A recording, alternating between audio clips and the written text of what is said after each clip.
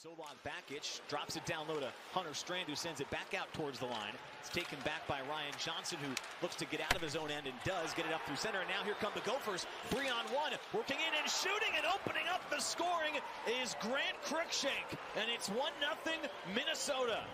Tried to send it back out towards the blue line.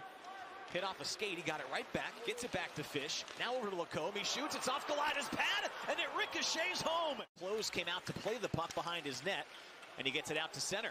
Here comes Blake McLaughlin. First time we've called his name. Senior from Minnesota sneaks it off the back of Galajda, and the puck is in. Got control of it, and then realized, you know what? 16 teams in the country make it, but you have to account for some automatic bids. As this puck is sent in front, this is Knies moving in. Oh, he drops it off to Walker, and he scores. It's a good pass to his defenseman you know, he doesn't panic and gets the breakout. This is trouble. Bryce Brodzinski drops it off for Blake McLaughlin, and he's got his second Soda did, and they never looked back. Trevor Janicki sends it over for one last look from Landon Slaggert. It goes wide, and that's going to do it. Minnesota takes game one against Notre Dame with a commanding 5-1 victory.